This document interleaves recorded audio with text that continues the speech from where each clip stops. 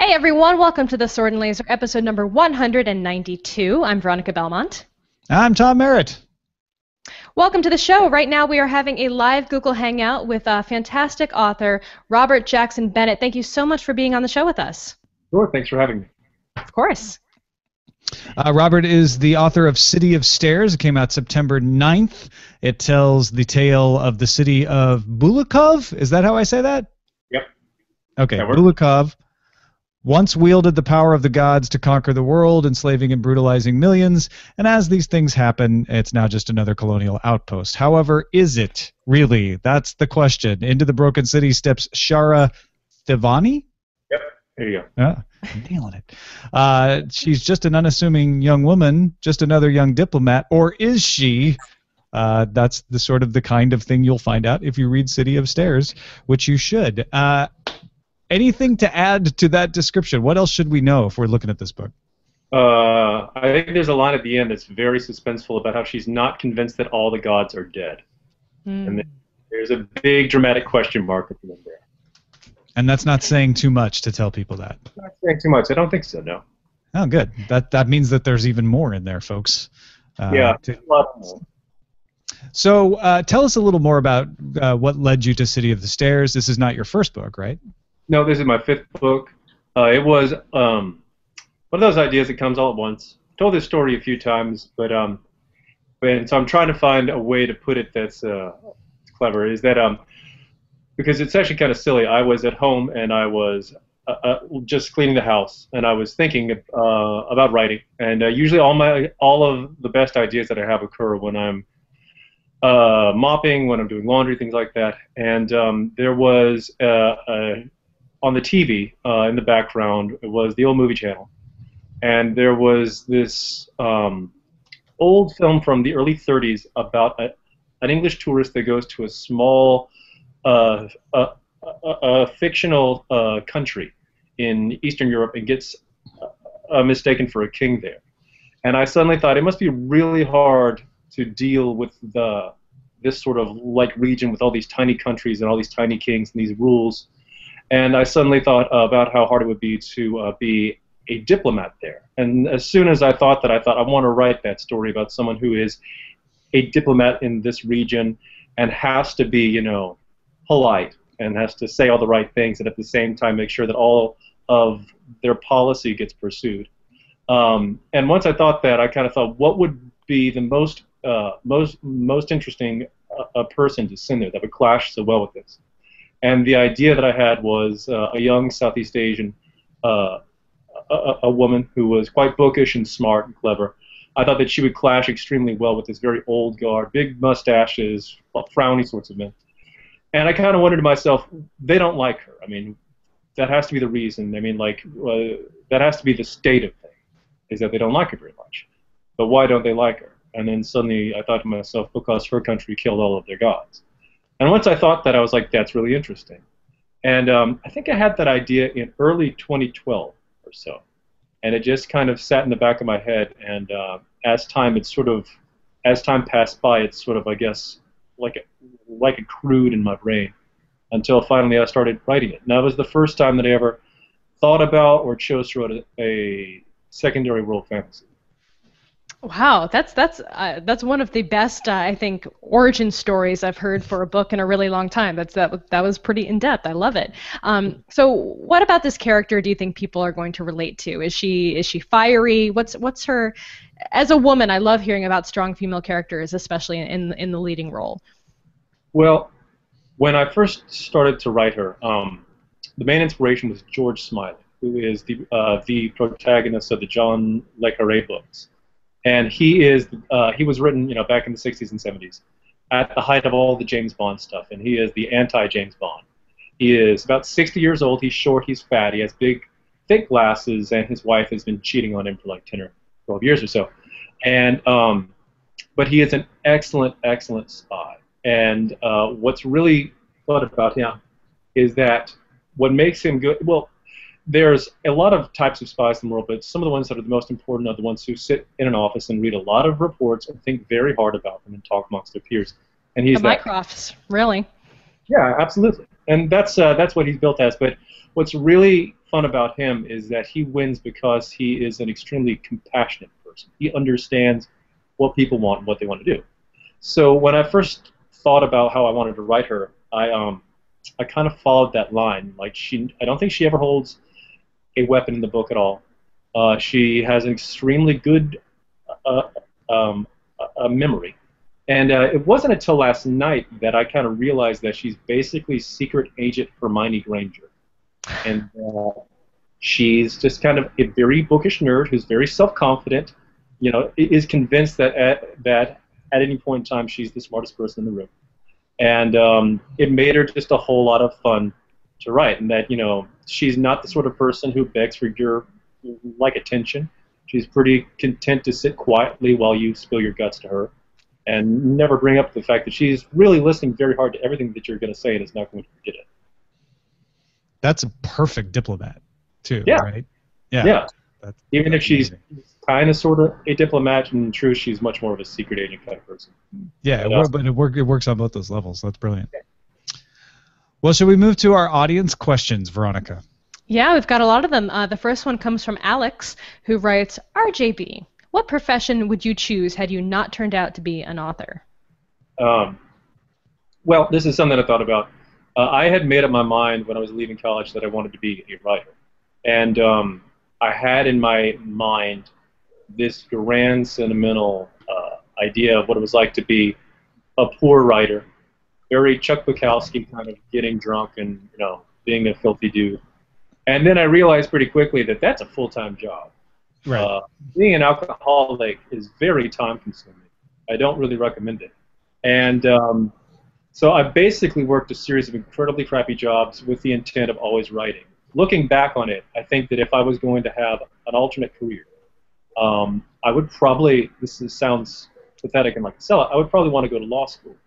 And uh, the reason for that is um, uh, there's a lot of things that you can do with a law degree, and there are uh, a lot of good causes out there that I think need a lot of help and need a lot of legal help. So I would probably be one of those lawyers that, that you know I'd say I'm a lawyer, and they're like, oh, are you rich? And be like, no, I work for a nonprofit. And be like, oh. oh. that's probably what I would be if I were to uh, to if I weren't a writer and if I were going to spend all my time on something, it would probably be probably be something like that. Excellent. Is it because you you like to figure out the the analytics and the problem solving of the law? And I'm curious if that fits into how you write stories as well. Yeah, I like rules a lot. Um, and I think that that shows up in this book, and that this is uh, a lot of the magic takes place in loopholes, in finding where, like you know, in the original language, this word actually meant ice, and somehow that transferred to glass in the modern translation which is why this piece of magic actually works on glass. Um, it's that kind of hair splitting thing and all the contradictions that I find quite fascinating. And um, I think this shows up in the book too. Um, the word that I think of is wonk, uh, which is someone who likes policy a little bit too much for their own good. Um, a wonk is somebody that a politician hires but is never going to run for office because wonks are unelectable. They are not usually particularly charismatic people. Um, so uh, I follow a lot of uh, uh, I follow a lot of those sorts of wonks on Twitter, and I always find that kind of fun to see those weird backroom scrums that take place with people who are just absolute nerds about these sorts of like laws and regulations. All right, we know a lot of people are going to read City of Stairs. We hope a lot more read City of Stairs. Uh, but Steve has a very pertinent question for those who are. What music, drink, and food would best be paired with City of Stairs? Uh, the music would probably be the Shostakovich quartets. That sounds outrageously pretentious, but um, I was, um, but um, he's one of my most favorite composers. This should give you a pretty good idea of what I was like as a kid. Um, I was raised to be a classical a violist. I was trained. That's what everybody thought I was going to do when I went to college. But then wow. as it uh, yeah, there's a whole lot of time that goes into that, and there's a difference between having a talent at something. There's a difference and actually wanting to do it. And um, I could play the viola, and it made people like me. And when you're 16, there's nothing more fun than having a room clap for you. Uh, but that's not exactly something you should found a future on. But um, so back when I was 16, I loved Shostakovich. It's very dark, very Soviet kind of stuff. And instead of like listening to like heavy metal, I tended to listen to dreary Soviet era, on the verge of suicide sort of classical music. So I think that that would probably, I would think, I think, um, what is it? I think it is the third quartet, second movement that uh, comes to mind a whole lot when I'm uh, when I was. Um, I think that's it. Don't don't. Can, can you hum it for us? Do you remember? Do you remember how it goes? Yeah, well, it it's played on on harmonics, which is when you um, when you hold your hand at the very at the very end of the string and very lightly touch the string, it makes a high pitched whine. That is the most unusual thing to do in the world, and it's very hard to do and have it sound clean. But the um, song itself goes da da da dum da da da da da da da da da da da da. It's um, and hearing that on that whiny pitch is immediately like upsetting. You're like, I don't know if I like this, uh, and it's a very striking piece of music. Uh, as far as drink, vodka. I'm vodka just going to say pepper vodka. Yeah, seems like a perfect thing. Yeah, I would probably go for that, and probably green tea. Very good jasmine green tea because that's what Shara drinks. It's, it's amazing how, how you really get a sense of I, I'm already starting to get a sense of the place and of the feeling of it just from those little bits of information. I think that's so that's so interesting. Um, our second question in the Steve trifecta of questions uh, today: uh, Do your political, religious, and/or environmental views make their way into your writing, or do you tend to keep the two separated? And if so, why or why not? Um, for this, I think that the best answer is a quote by on Neil Gaiman where he says that he writes to find out what he thinks about things. And so, to a certain extent, you know, these things do show up in my books.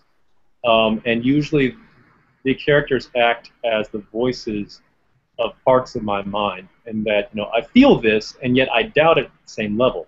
So it works as kind of a circle in that you know, do you really believe that? Have you thought this through?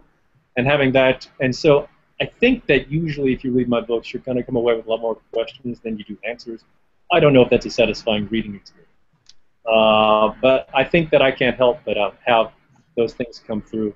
Probably for this book more than others because it's because it's about spies and countries, so it has a lot to do with politics. Mm-hmm. So even if it's foreign politics, I find the idea of trying to look at power and how how people use it to be pretty satisfying. and I think that um, when you see it happening outside your door and on the news in your own country, you tend to be a little bit blind to it and realize that some of the actions that are happening nowadays are the exact same things that have happened for thousands and thousands of years. And once you realize that, um, you stop being surprised. I feel like it would be impossible for any author to entirely separate their own views from their writing. I, I, that would almost be a bad idea because it goes against write what you know, right? Yeah. Uh, but I, I, guess this question is often asked as if, do you have an axe to grind, or you're trying to force your views down my throat? It sounds like you're saying no, that you're actually, and I love that answer of Neil Gaiman's. Like I'm actually trying to figure out what I think. Yeah, I have no idea. I don't think that I. I mean, I might come to a strong conclusion on certain things in that book, but um, it's not saying. And on Bill 376C, you need to vote. in the in the appendix, it gives you a voting guide. Yeah, uh, and we promised you three questions from Steve. Here's the third.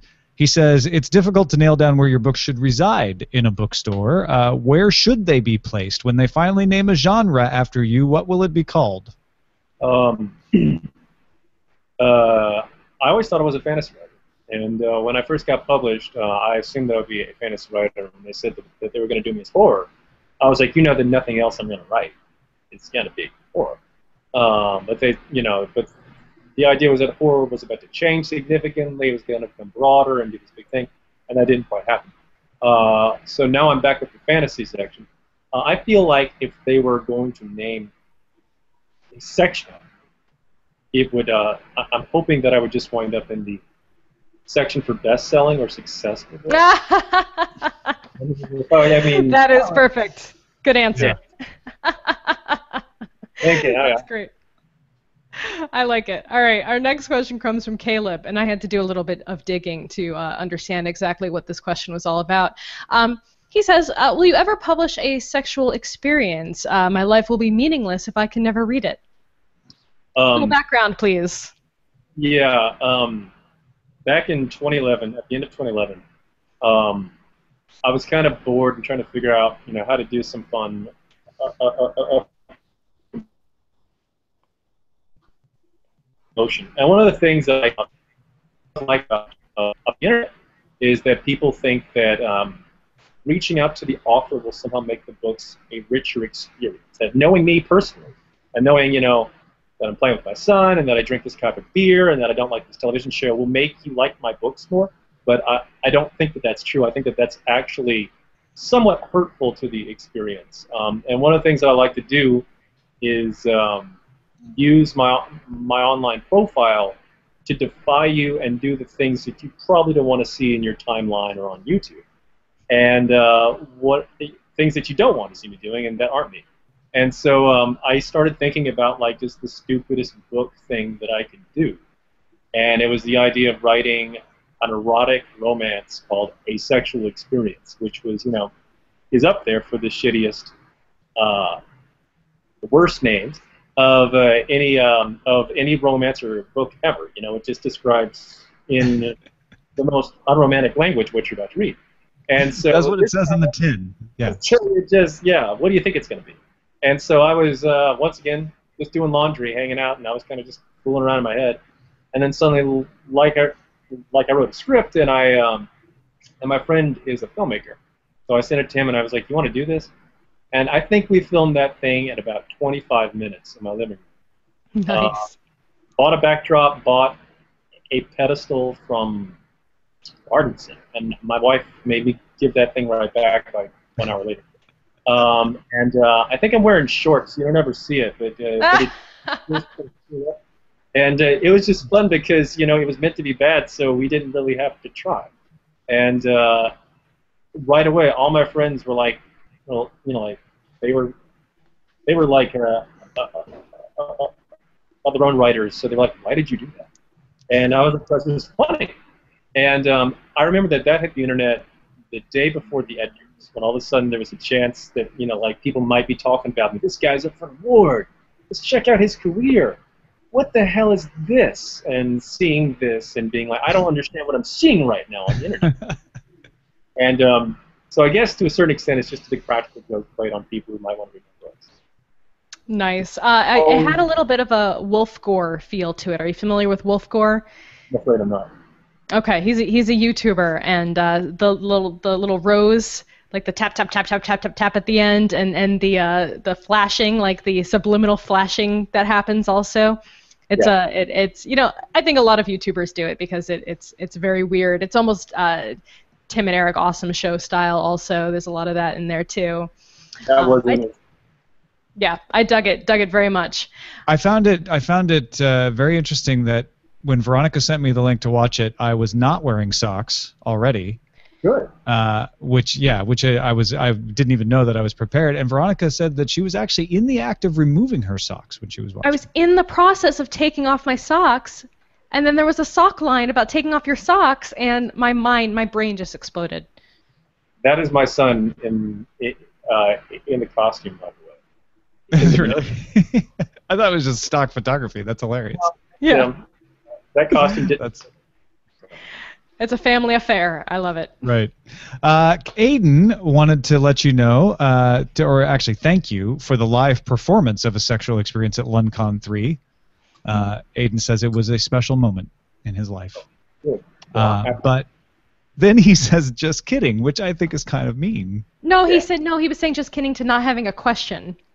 Oh, he has a question. I see. Said, no question. Uh, I just wanted to thank you. Right. It's not okay, but he does have a question. Uh, I know you've been a bit surprised at the overwhelmingly positive reaction to Sigrud. How did you first discover him, and how did he change over the course of writing the novel? um, when I was writing this, and I knew that I wanted to write Shara, um, I realized that I needed to have somebody to bounce off of her or for her to bounce off of. She's a very thoughtful, cerebral person, thinking things through, knows about the history, and she cares a whole lot. So I thought it would be great to have her stuck with this gigantic person who um, did not care and was not going to be roused to care and was basically only there to stab things and to do a very good job of it. Uh, and um, that kind of stuck in my head for a bit, and then suddenly I was like, let's just like just write in Beowulf, just throw him into this story and see what happens. And so I did, and it's pretty obvious. To, I mean, I think that a few people have said like, "This is Beowulf," isn't? it? I'm like, yeah, basically. Uh, but uh, he's, uh, I, people seem to absolutely love him because, uh, to a certain extent, he's like satire, and that um, you know, in most fantasy books, there's just this awesome dude who's just very unusually good at things and just too cool. Uh, he's that times a thousand. Um, uh, I, I think that a few people have said he's like uh, uh he's like the Brock Samson of this book, and that's not mm. a, um, a, comparison. And it, it, was right around then um, uh, that um, my wife was out of town a whole lot, and whenever that happens, I tend to drink a whole lot of beer and watch uh, films on Netflix. And one of them that I watched was Valhalla Rising, the same guy who did Drive. So it's like this hyper gritty, artsy, macho stuff, and it's got uh, Mads Mikkelsen uh, doing the most horrific violence that you have ever seen on on film. Covered in mud, everything's grim and so dark, and you know he's got one eye, and I was like, all right, I, I think I know what to do with this, and it was kind of fun because he's he's very funny in the book because you know everything's so important and and there's all these deep history and he's like I'm not even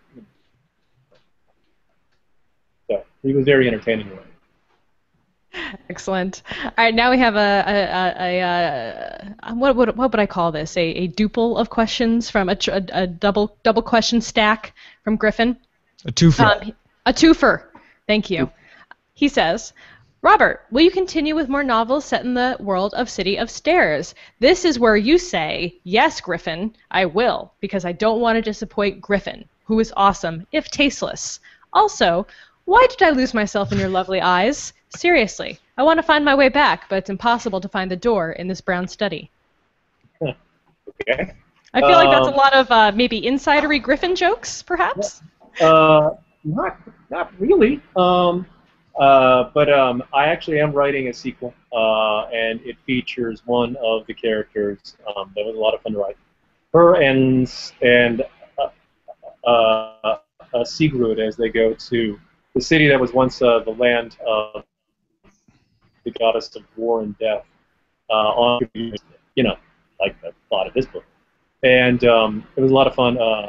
Turyin Mulaghesh is her name, and she was a lot of fun to write. And that um, uh, when I first wrote her character in the book, she was going to be the local, uh, like official. She was like part of the military. She's part of the government, and I was going to make her an older man because I wanted to have like Shara work on him and like, like kind of like surprise him, impress him, and I was like, that's kind of fun. And then I was like, this feels like a trope and it's not that interesting. I don't know if I want to do it. And then suddenly I was like, let's make her a woman. Make her like 50 years old and really tough and just not willing to tolerate any of this bullshit. And then suddenly, she started to really work. And then uh, I really started to like her scenes quite a bit. And then um, when I started thinking about a sequel, I was like, you know, well, I can't say exactly how things end, but um, I, I, like I realized I was like, who's left to work with?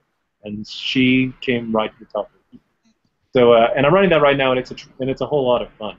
Um, and it'll be longer too. I know a lot of people were surprised that this is a fantasy novel that's only about 140,000 words and a secondary world. They were like, "What are you doing? This is totally not allowed. It's supposed to be 18 pounds and causing hernias." Uh, and that was my last book, uh, which was not epic fantasy. Uh, but um, this one, I might hew closer to that standard. Uh, oh, actually, Griff, Griffin's other f- question. Oh, sorry. Go ahead. Um, like I was going to say that I have no idea why he's lost in my eyes. That sounds like his problem. He needs to work that out. It says it's it's in quotes. Why did I lose myself in your lovely eyes? Oh, yeah. Well, I don't know. I don't know. Uh, but I was not aware that my eyes had had that effect. But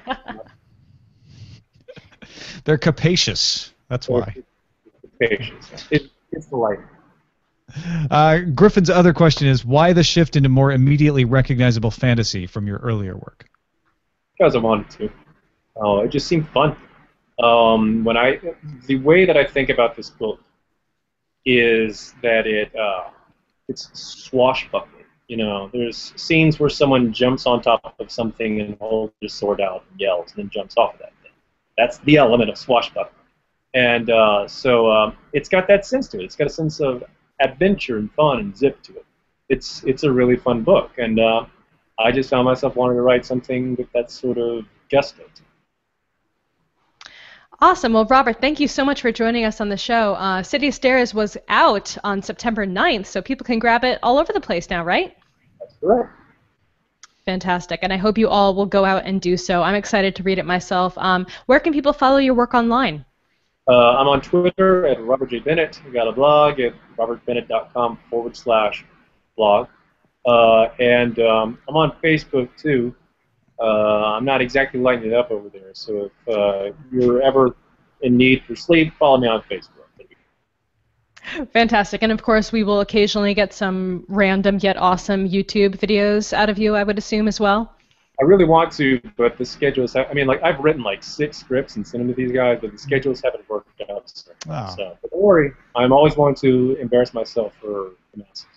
If you I'm ever need a hand, we're forward good at embarrassing ourselves too. Yeah, we are very good at that. I'm looking forward to another sexual experience.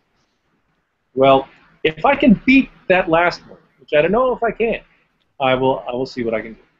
All right.